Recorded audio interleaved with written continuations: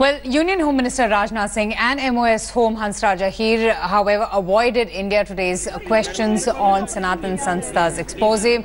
My colleague Kamaljeet Sandhu joins us for more on this. You know, Kamaljeet, it's interesting. Maharashtra Home Minister Deepak Kesarkar was far more forthcoming uh, to give his uh, reaction on the stunning revelations captured on the cameras of India Today. But why the silence from the central government? Uh,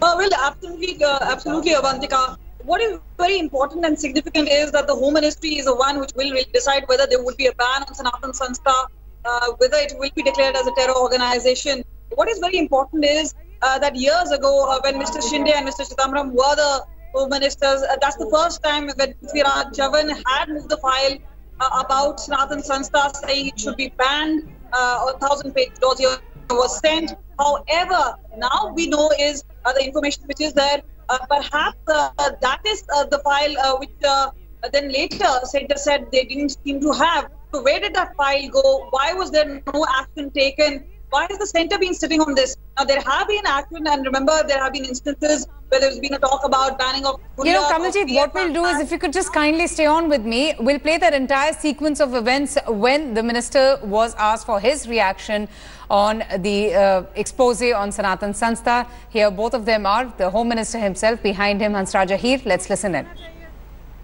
नमस्कार जी sir Sanatan Sanstha के बारे में बताइए sir India today ने तो sting operation किया है please ma'am please ma'am please क्या मैम मानते हैं प्लीज मैम कि अ, दोबारा से रीओपनिंग ऑफ केस होना चाहिए अहीर साहब, सर, ये टेरर का मामला है और गंभीर मामला है। जिस तरह से हुरियत सिंह के ऊपर आप लोगों ने रिएक्शन किया गंभीरता से आप ये मामला लेंगे, sir? Kamaljeet Sandhu asking those uh, questions. And Kamaljeet, I can see how persistently you're asking those questions, yet, uh, uh, you know, there is absolute silence on the other side. And that's strange, isn't it? There's a terror connection that has been established through those stunning revelations uh, on the India Today sting operation. And yet, no word from the central government, Hansraj Ahir, preferring silence uh, over commenting.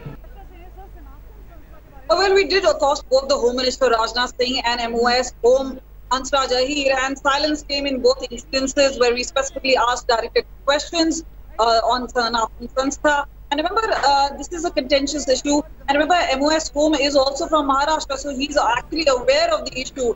Uh, but why is Center not really willing to take a stance on this? Why they're not even seeking a report? And remember, if the government was so serious as they were in the case of Hurriyat terror funding case, uh, there would have been action. Uh, but that's not what it seems like in this particular case.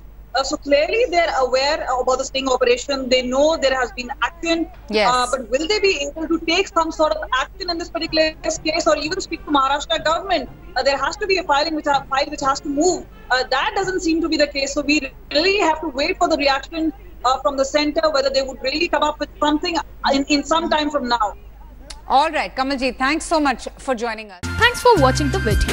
For more such news and updates, please like, share and subscribe to India Today. Also check out our other great videos from our channel. We know you will love to.